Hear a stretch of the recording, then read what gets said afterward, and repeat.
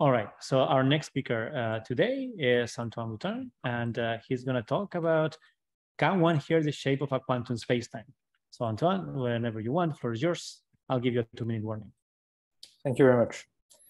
Okay, so I'll be talking about some work I did uh, for my master's project with my uh, project at Imperial College with my project partner Julia and our uh, supervisor Yasaman Yazdi.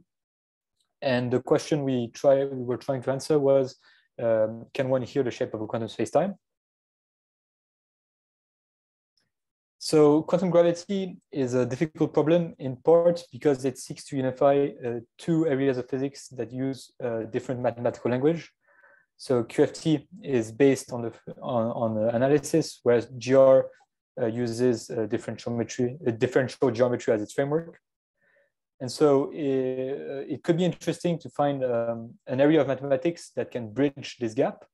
And what's one such area is spectral geometry, which uh, gives us an analytical way of talking about geometry. So spectral geometry is uh, the field of mathematics that uh, essentially tries to answer the question, can one hear the shape of a drum? So if we only have uh, the sound waves produced by the drum, can we reconstruct uh, its shape? Or uh, more mathematically, it's the study of manifolds uh, through the eigenvalues of differential operators uh, on them. So this is what we call the spectrum. And spectral geometry is well understood by mathematicians on Riemannian manifolds with a lot of important results. However, if we're interested um, in quantum gravity, uh, we are looking at spacetimes, which are generally described by Lorentzian manifolds.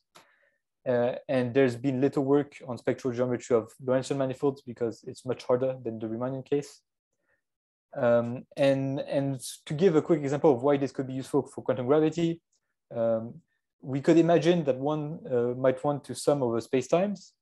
Uh, however, it is not trivial uh, how uh, we would sum over uh, geometries. So it might be easier instead to convert to the spectra of these spacetimes sum them uh, sum over them and then uh, use the um, the resulting spectra uh, spectrum to convert back to a spacetime.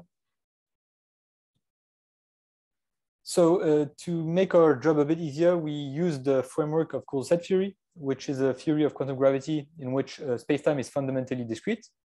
So the continuous manifold we are used uh, to emerges from an underlying discrete causal set and uh, this causal set is a set of elements uh, with a partial order.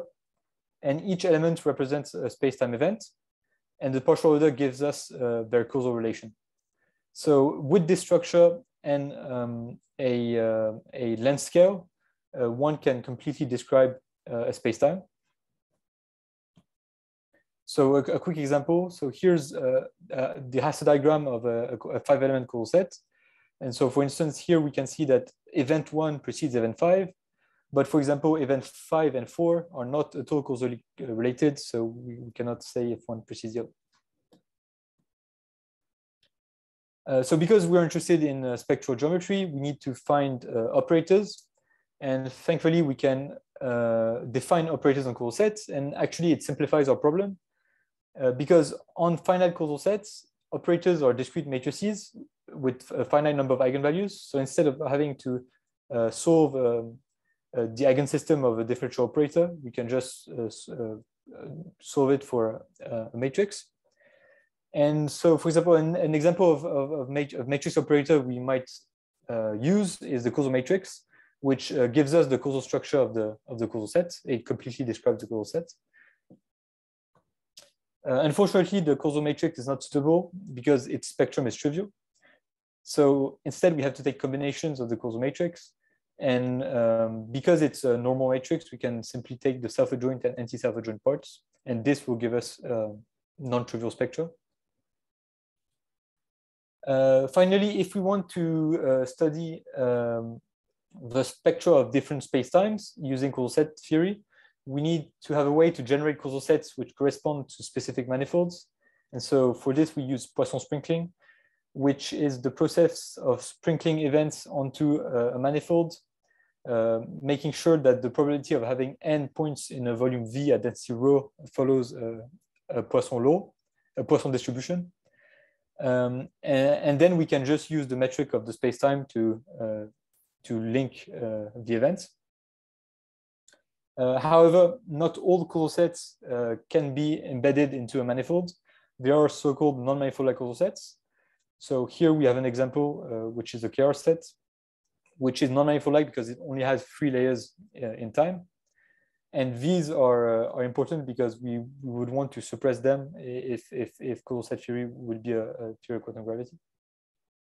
So what we wanted to see is uh, if the spectra of uh, of operators of causal sets could be used to distinguish equivalence classes of causal sets, in particular uh, causal sets of certain dimensions and uh, also non-manifold causal sets. So here we've simply plotted uh, the spectra of different causal sets. So these causal sets have uh, 10,000 elements and uh, they are embedded into manifolds, uh, uh, flat space-time. So we have hypercubes of, from 2D to 7D, as well as a KR order. And what we can see is because this is a log-log plot and we, we see straight lines, we have power laws. And in particular, we can see that the KR order uh, behaves differently from all the other uh, uh, spectra. So it seems to indicate that we are able to distinguish manifold likeness from the spectrum alone.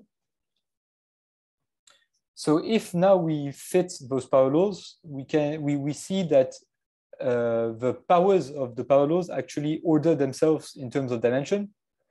So, uh, so here I have the we have the powers uh, and the dimensions, and we can see so 2D, 3D, 4D, 5D, 6D, and 7D are all ordered.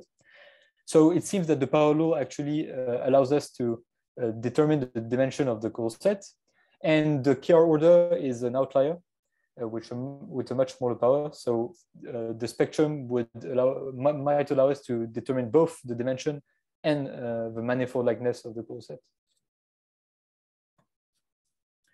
a second approach uh, we took was uh, using so-called co-perturbations. So um, instead of just looking at the spectrum of a causal set, uh, we are interested in how the spectrum changes as the causal set change, changes. So for instance, if we have two causal sets that are symmetric, uh, the spectrum will end up being the same. So instead, we can look at uh, the change of the spectrum as we add elements to the causal sets, and this will allow us to distinguish them. So here we've taken the causal set from previously, and we've just added one co-perturbation. So we've added an element to uh, the fifth event. And so the spectrum, the resulting spectrum will be different.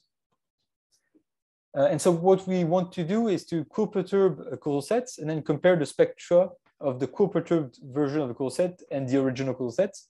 And so to do this, we introduce uh, the spectral distance, which will simply be the sum of the absolute values of the differences of uh, the eigenvalues of the two uh, causal sets.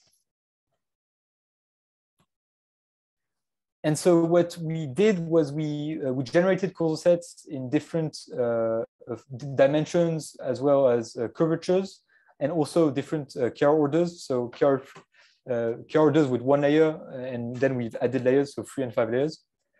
Uh, and then we fully perturb those causal sets. So we've added elements to every single element in, in those causal sets. And we looked at the, um, uh, the, the, the spe spectral distance between uh, those sets. And so what we find is we get, once again, something that looks like a law. Um, um, and, and this time, uh, we don't seem to have any distinguishability between dimension or curvature. So here we have dim causal diamonds in flat space-time as well as de Sitter space. We, we, we don't seem to find a pattern uh, that distinguishes between them. However, we do see that the non-manifold like causal sets seems to be distinct compared to the other uh, causal sets. Antoine, two minutes. Uh, okay, thank you. Uh, so as a conclusion, we have found some uh, evidence uh, that, one, that one can in fact hear the dimension of a space-time and its manifold-like nature. Uh, and future work could include studying the spectrum of the causal set d'Alembertian in search of a Lorentzian version of Weyl's law. So Weyl's law is a, is a law in spectral geometry that, um, that tells us that the, the spectrum of, uh, the, of the Laplacian in a Riemannian manifold follows a power law which uh, where the power uh, is related to the dimension of the manifold And so since we've seen uh, hints that uh, the, the, the, something similar exists for causal sets, uh, it might be interesting to uh, look for a more rigorous uh, version of this, which could be uh, generalized not only to causal sets, but to all Lorentzian manifolds. Thank you. All right, thank you very much, Antoine.